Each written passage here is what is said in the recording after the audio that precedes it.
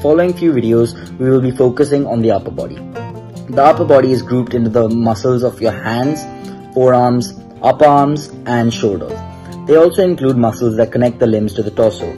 All these muscles work together to provide body flexibility, mobility, and a range of motion.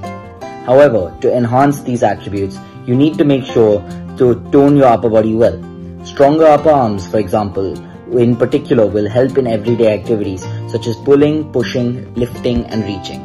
They are also important in several different sporting activities. It is quite obvious that racket sports, rowing and such sports require upper body strength. However, a strong upper body is extremely crucial for sports like running and football, which one would think is exclusively to do with the lower body. In the case of football, it improves speed, power and balance.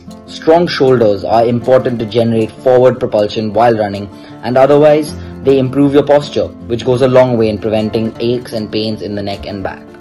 It is important to train your upper body at an early age. This is because as you age, your body starts to reabsorb calcium and phosphate from your bones instead of keeping these minerals in the bones. This will make your bones significantly weaker. When you strengthen your upper body, it has a tremendous impact on your bone strength and this can help extremely in the long run.